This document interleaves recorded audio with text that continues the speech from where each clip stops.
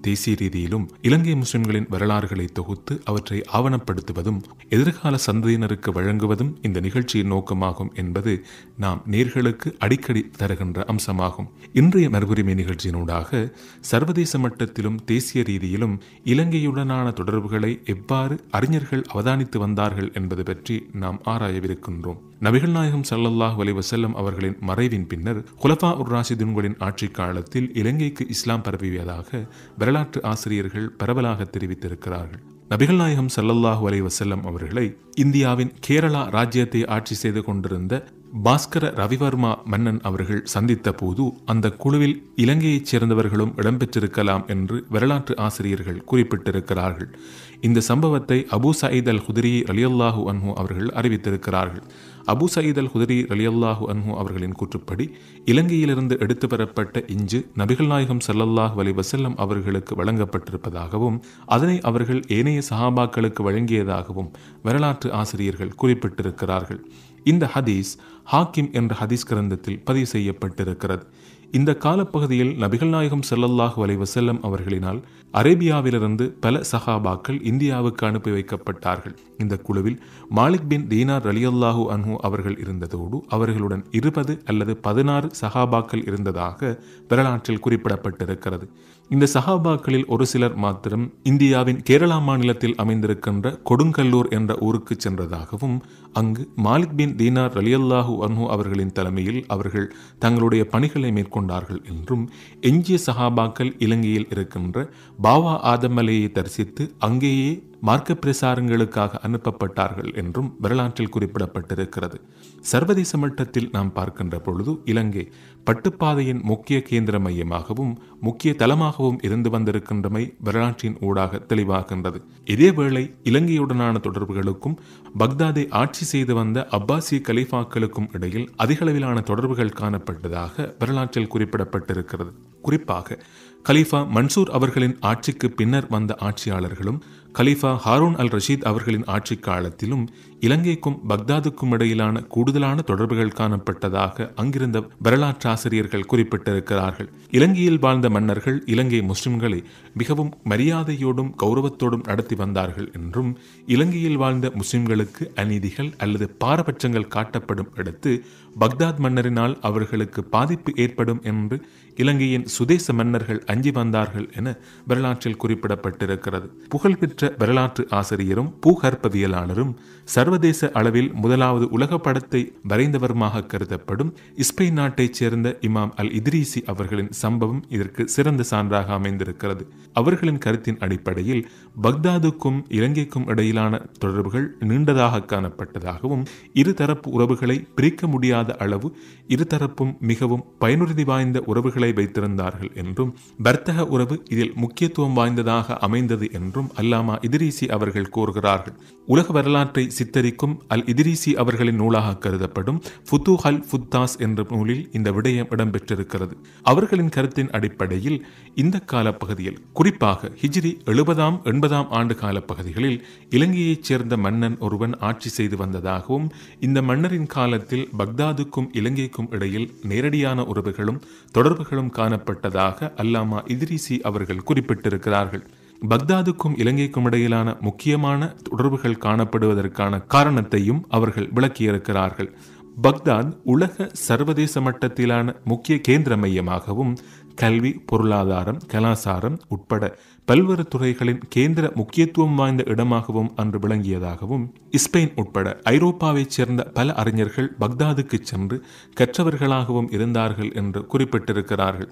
இந்த காலப்பகுதியில் அறிவியல் வளர்ச்சிக்கு அமைவாக சிந்தனையும் இறையியல் தொடர்பான கோட்பாடுகளும் வலுவடைய ஆரம்பித்தன. இதனால் உலகின் பல்வேறு பகுதிகளில் இருந்தும் பக்தாதுக்கு சென்று கற்பதற்கான முயற்சிகள் ஏற்பட்டதாக வரலாற்றில் குறிப்பிடப்பட்டிருக்கிறது. இந்த காலத்தை நாங்கள் அவதானிக்கின்ற பொழுது ஹிஜ்ரி எழுபதாம் ஆண்டு காலப்பகுதியில் இலங்கையை ஆட்சி செய்த மன்னரை அவர்கள் சிங்கள பெயரால் குறிப்பிடவில்லை.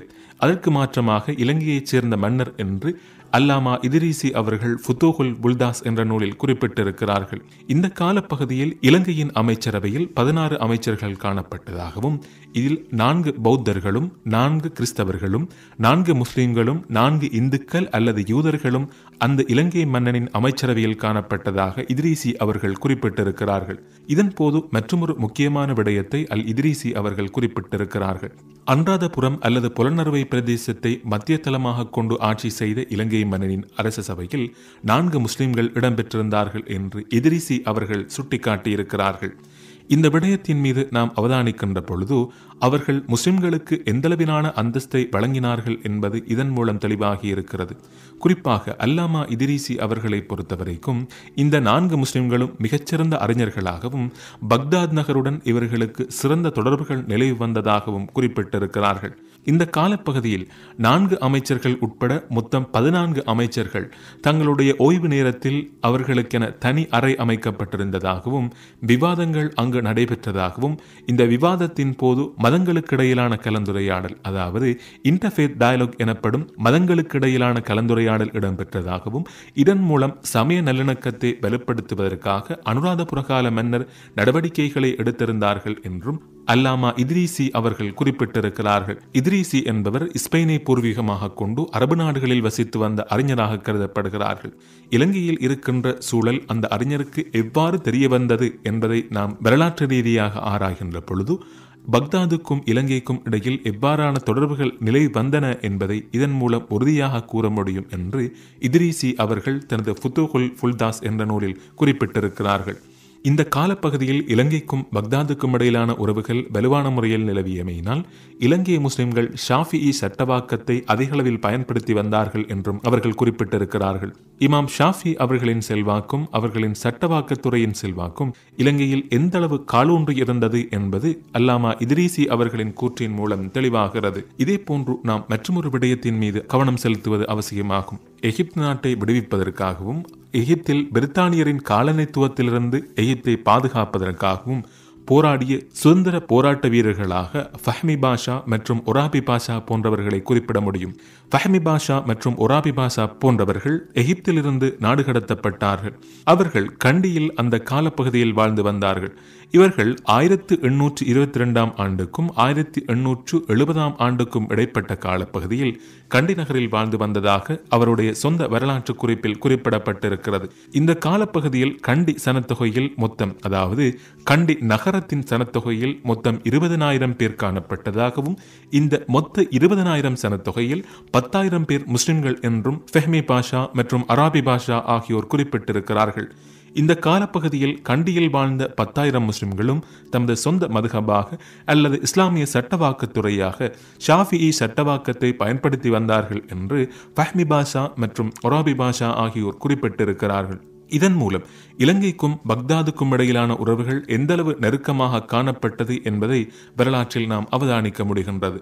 இலங்கை முஸ்லிம்களின் வரலாறுகளுக்கும் பக்தாத் உட்பட அரபு நாடுகளின் முக்கிய நகரங்களுக்கும் இடையில் எந்தளவிலான தொடர்புகள் காணப்பட்டன என்பதை இவற்றின் மூலம் அவதானிக்கக்கூடியதாக இருக்கிறது. அல்லாமா இதிரிசி உட்பட பல அறிஞர்கள் இலங்கை பற்றி தமது நூல்களில் பிரஸ்தாபித்திருக்கிறார்கள். இதற்கமைவாக இமாம் முகமது இத்ரீஸ் ஷாஃபி அவர்கள் கூட தமது கவிதை நூலில் இலங்கை முஸ்லிம்களின் வரலாறுகள் தொடர்பாகவும் இலங்கையில் காணப்படும் மலைகள் இலங்கையில் காணப்படும் இயற்கை வளங்கள் என்பனவற்றை பாராட்டி தமது சட்டத்துறை நூலுக்கு அப்பால் எழுதப்பட்ட கவிதை நூல்களில் பிரஸ்தாபித்திருக்கிறார்கள் என்றும் வரலாற்று ஆசிரியர்கள் குறிப்பிட்டிருக்கிறார்கள். இலங்கைக்கும் அரபு நாட்டின் வரலாற்று ஆசிரியர்களுக்கும் சட்டத்துறை அறிஞர்களுக்கும் இடையில் எந்தளவிலான உறவுகள் நிலவி வந்திருக்கின்றன என்பது இதன் மூலம் சான்று பகர்கின்றது. இன்ஷா அல்லாஹ் மற்றொரு நிகழ்ச்சியில் நாம் நேர்கள் அனைவரையும் சந்திப்போம். அதுவரை அஸ்ஸலாமு வலைக்கும் வரமத்துல்லாஹி